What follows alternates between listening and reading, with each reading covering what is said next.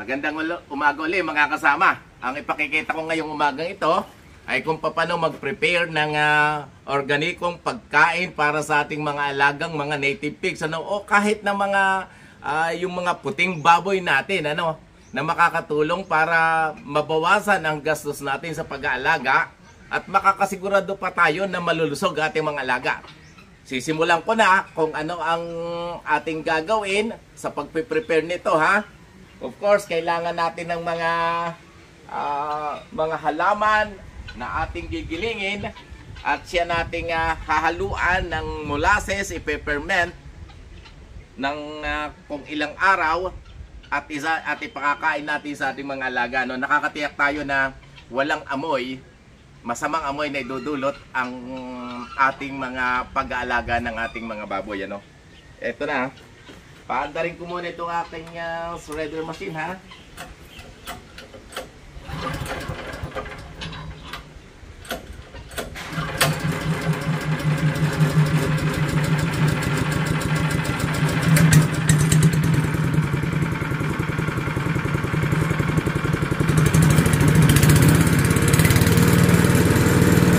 So, meron tayong mga sakwa, no?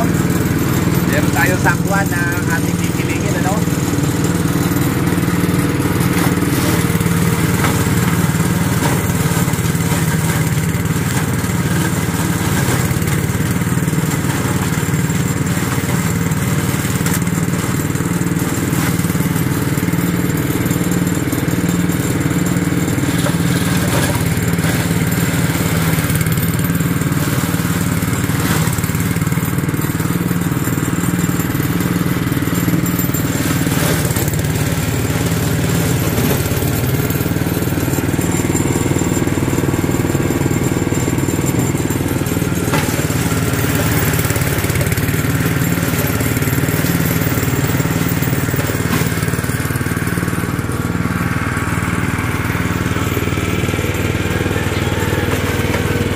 Meron din tayong uh, Aguas, ano? Naiyakado, ano?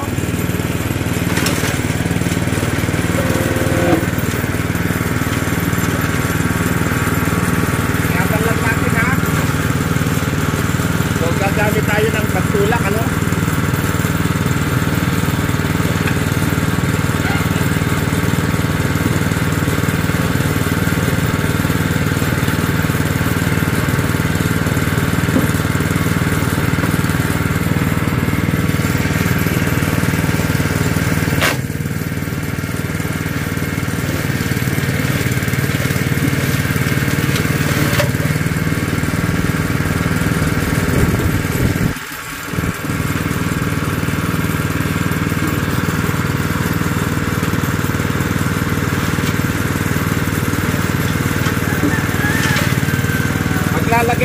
Ng mga lemon.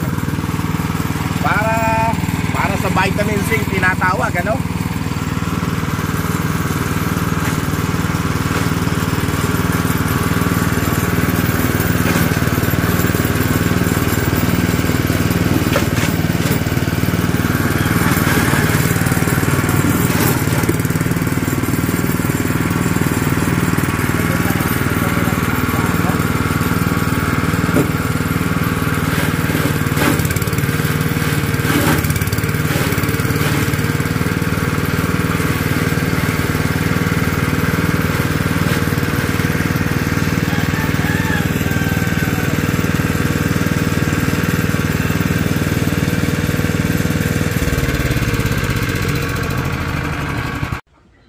Ilalagay natin ang ating mga giniling na sari-saring mga dahon, ano?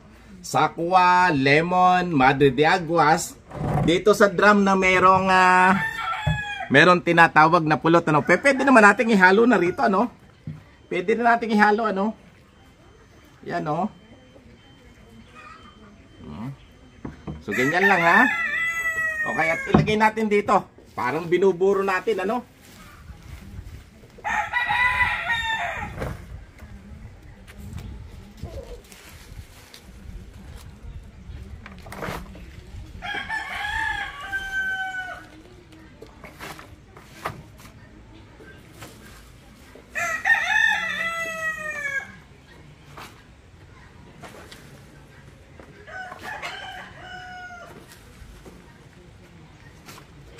Ganti, ganito lang po kasimple ang paggawa ng tinatawag na fermented feeds para sa ating mga alagang uh, mga baboy ano?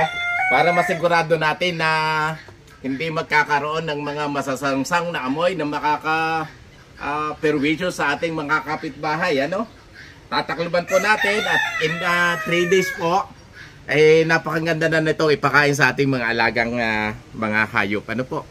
Hanggang dito na lang at ah, kung hindi pa po kayo nakakapag-subscribe sa aking YouTube channel, i-like po ninyo at i-subscribe para patuloy nyo mong makita ang mga pamamaraan, mga makabago at makalumang pamaraan, mga teknolohiya para sa pagpapunlad ng ating agrikultura.